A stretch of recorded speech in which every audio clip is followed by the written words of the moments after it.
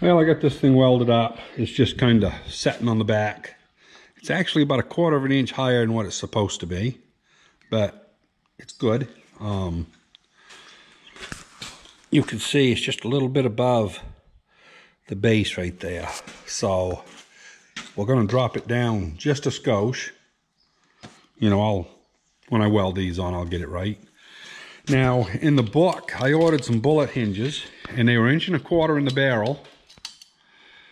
And I figured the plates are either going to be 3 eighths or half inch. So I figured a half inch. So I am, now it's a 16th shy, but I can knock it over a little. But I think two and a quarter is what I'm going to need for that bullet hinge to set in here. And I don't even have the plates on yet. But I do have plenty of room over here. I can move this easily another three quarters of an inch. So I think she's going to fit in fine. I'm going to cut me some plates to go over the end, weld them on. They'll just be a quarter inch plate. And I'm not going to put the plate on this end yet. I'm going to wait till I get it hung. And then I'll see where the pin needs to go. I'm going to try to make it so that the pin sets right up in this far corner. So, and if it does, then I can put a plate in around it and, uh, you know, weld it, make it watertight. um, the only place I haven't drilled yet is right here. And uh, I'm going to drill back here too. And uh, then they'll have airflow and it'll drain water down to the bottom here. So have to do some of that work. And yeah, now we're waiting on bullet hinges. So I'm going to work on the lights. I got to extend the wiring. And I'll get them out here, but I'm not going to actually uh, put them on because I got to do some painting first, as you know. And uh, I might go on to the gas tank because I got to change that sending unit. So anyway, that's what's up. And I got to grease this um, cable. This thing is so dry, you don't even make your hands dirty. And I've got some, it's actually chainsaw um, grease. Yeah, that did is some shiny, dry, dry. So we'll lubricate that, see if we can get rid of our chirp. Well, I've been working on everything today. I got this uh, new sending unit in, but I don't know if you can see that crap right there. That was all through the tank. This is a brand new tank. Don't know what it's from, but I sloshed and sloshed and then poured the gas through here and then I dump it back in through the strainer. After about a half hour, I had it all out, so there was none left in there. And uh, put it together. I don't know what that stuff's from, but it looked like it might cause trouble. So anyway, on the back, we've done pretty good here. Um, so far, so good. A little disappointed in these uh, bullet hinges, you know, shit made in China.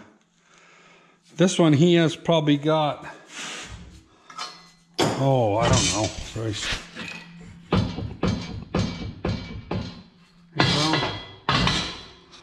But that's all right. I'm going to have a ramp here anyway, so it'll kick it up on. And I got to cut a inch hole in here. Set this over the end. Weld that on. That'll keep the wasps and stuff from building in here. This here will go on this one. So then I'll have a partial cover on this. It's not going to cover it all for the simple reason that I'm going to have a wedge drop in here. Just drop down in there. Kind of like the old wedges on the old uh, cable operated equipment, you know, just a long tapered wedge. I'll uh, have something, if it's covered halfway, it can't really go nowhere, it'll be captive, and I'll just drop it in so it sticks up two or three inches and something to grab a hold of. So that's what I'm going to do there. Um, of course, I've got to put the tailgate back on to find center. I think it's pretty close to right there where I had it marked, but I'm not sure.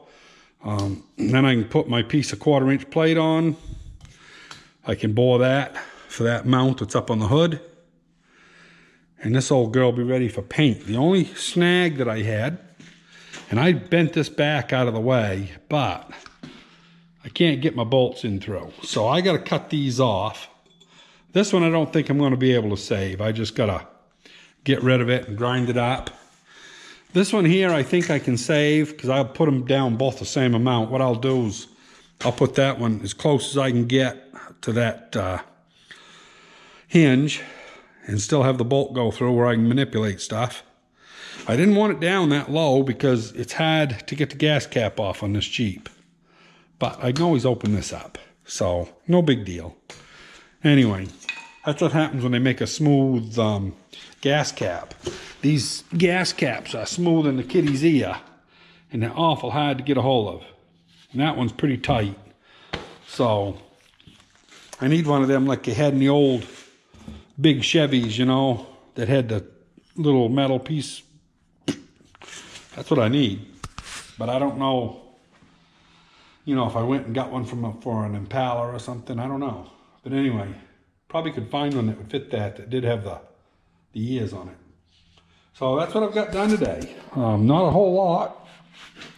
A lot of dubbing and pondering more than anything. And uh, I also, of course, you know, you get sidetracked and uh, I got one of my steps finished here.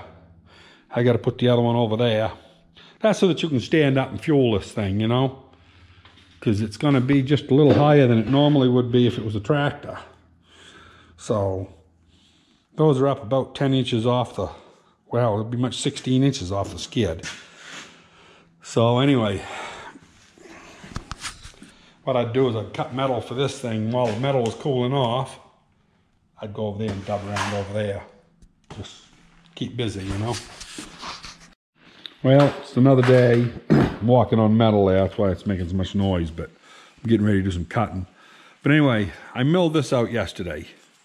So that's going to be what holds this. I wanted a wedge so that it won't jingle around when you're on a dirt road. You know, I like to idle along quiet and see what I can see instead of having a noisy rat trap like most of them have, you know. I won't have no D-rings banging out here and stuff like that. I want to just stealth mode. So anyway, I got this figured. I'm going to leave it fairly long. I'm going to grind these round edges down just with a 4-inch grinder. And I'm going to take this piece here. You can see how it's laid out. This right here is going to get cut out for where that key goes. And then I'm going to weld a standard or, or an upright on right here. And I'm going to drill this up top where the top of the other one goes and going to put a linchpin in. That way, if you do hit a bump going down the road, this thing won't fly out and kill somebody, you know? Got to have stuff secure, so that's what I'm going to do it with a linchpin. Um, I got placed a box upstairs, I think, with a hundred of those. At one time, when I was younger, a lot younger, I was a uh, Tisco dealer. And anyway, I got one box of those left. So I'll never run out in the rest of my life. But anyway, yeah, so we'll uh, get this done. I'm not going to film it. I'm just going to burn this out, weld it on top. And then I have to find myself a small piece of steel that I can drill a hole through. And I'll drill a matching hole. Might even make a slot here so if this travels up and down a little bit, it'll still line up. And we'll be good to go on this thing. Then the only thing left to do is put the plate on for the tire, which is that piece down there under that C-clamp. Well, the wedge there that I've been drilling, um, this is hardened steel. Don't know what it is, but this is a smoked carbide, so the carbide isn't much good. But that's it, we're through. I tried drilling it with regular drills and you can't touch it. So, anyway, I just wanted to show you that, how hard that was. I'll bring you back just a second. Well, that's what I came up with for the latch. Um, yeah, so, yeah, that's hot. I didn't weld on it, but I welded beside of it. Heat transfer, but that'll work. And, uh, you know, it may jiggle a little. This will be about the only thing it'll jiggle. And, you know, but I think I think it'll settle in. anyway. So I got the spare tire bracket off the front of the truck, off the Jeep there. Took it off the hood. So we're gonna not make it too much wider, no necessary weight, you know. Unnecessary weight, I should say. And uh, gotta put the two bolts on the top, that takes more load than the bottom. And uh, yeah, it's gonna be all right. Just put it on that quarter inch piece of plate. I say it's quarter, yeah, it's quarter. And did I mention it's raining? I mean, I don't know when we're gonna be able to cultivate out there. The water's sitting on top of the ground again. We're supposed to get, we've only got about a half inch of rain so far. We're supposed to get another inch and a half. So, to, two inches total. It's just, and people out in the mid part of the country, they're, they're dried right out. It's crazy. But I'd rather have a little too much than not enough. So I'm really not complaining. But yeah, be nice to have a week of sunshine. Anyway, I'll get this cut out. We'll get it centered on here. And, uh, well, I guess I'll drill the holes first before I get it centered. And then I'll uh, weld her on. Well, it's just tacked. But, tie is going to fit on there good. So, anyway, I like it. I'm going to take the tire back off and uh, put some beads down both sides. And I think that's going to about do it for this. Um, I think the bracket will be strong enough. It's meant to hold a tire this position. Um, you know, there's a little bit of, but I don't think it'll bother. Um, anyway, we're going to call it a win. If it does crack this uh, thing around the bolts on the top, these things aren't too expensive to buy brand new, and I'll reinforce it on the next one. Um, but anyway, yeah, we're doing good here. Well, I got the cheek plates done. They come out for the corners. I still got to grind this up and dress it up with a grinder so nobody will get cut on it. And I got to cut that bottom, you know, grind that off, make it look good. Just got the hitch on. And basically, except for the grinding around the corners, this thing is 100% done. Gonna need paint, of course, but um, yeah, I have had the tire on it. It works good. Doesn't seem to affect it any as far as weight. So yeah, I got to uh, get this thing ground up and painted, and then I got to put the fuel tank in. Once I do that, I can start bolting the body down. After that, I got to uh, put my yeah, emergency brake. I guess it's just a bracket down underneath. That's never been put in. Uh, got it all sandblasted up. I think it's right here somewhere. Yeah, got to put that little honey in. And uh, goes up underneath the body like so. And there's a clip that holds the emergency brake cable in. So that's never been hooked up they don't check emergency cables usually in this part of the country because if you step on step on them down, usually they'll stick there because of the salt. So they pretty much don't worry about that stuff up here in Maine. But um, yeah, so anyway, we're gonna uh, start going the other way. I hope. I'm gonna get a coat of paint on this tonight. So yeah, that's one quick look before we go. It uh, yeah, it's got streaks in it from the paintbrush, but I ain't too worried about it when uh, somebody comes up behind you on the interstate and passes you, they'll never see them streaks. So, yeah, it's looking good. Now to the assembly. Anyway, my battery's running low again. Um, hope it was interesting. And uh, yeah, worked out good.